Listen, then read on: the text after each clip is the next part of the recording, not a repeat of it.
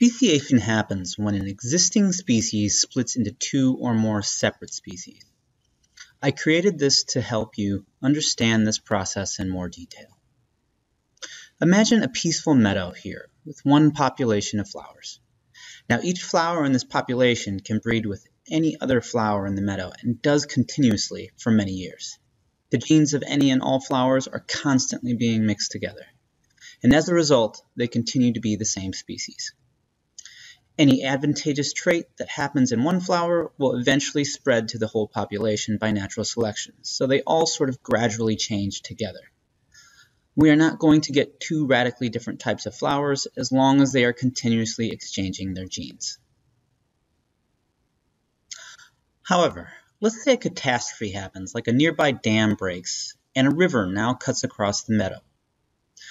We have two populations of flowers now one on either side of the river, and the river is too wide for any breeding to occur across the river. Again, two populations that are separated by a reproductive barrier. Separation is the first phase of speciation. Now let's imagine that the field on the left side of the river is constantly being eaten by grazing cattle, and the right side is commonly visited by tourists. The cattle generally try to avoid the flowers because they taste bad, at least compared to the delicious grass. The tourists, on the other hand, love the pretty flowers, and so they pick the brightest ones to wear or give to their loved ones. What do you think is going to happen to the two flower populations after many years? On the left side, the flowers are under selective pressure to get noticed by the cows. They do this so that they eat around the flowers, not the flowers themselves. On the right side, the flowers have pressure to be less appealing to tourists. This means that they should look less pretty and blend in better with the grass around them.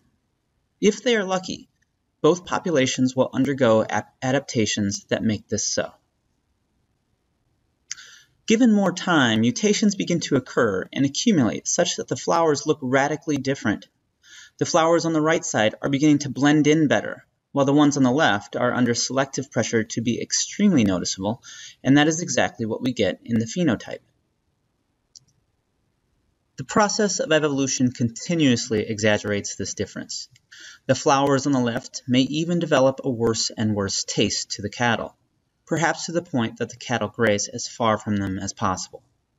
The flowers on the right side might develop a stinky smell that the tourists find repulsive, giving them even less reason to pick the flowers.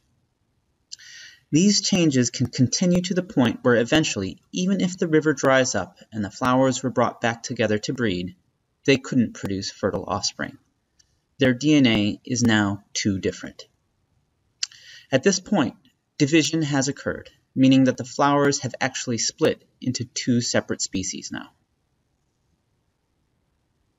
Speciation is evolution in action and it takes a long time for it to occur.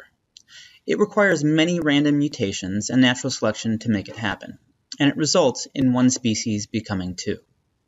It has been observed and well documented around the world. To recap, speciation has three steps. Separation. This is when the population is separated into two reproductively separate populations, usually by something like a body of water a mountain range, or other barriers. Adaptation. This happens to each population, but it happens in different ways. They each adapt differently to different environmental pressures. Finally, we have division. This occurs when the populations are genetically so different they cannot produce fertile offspring together, making them two species now. Thank you for watching.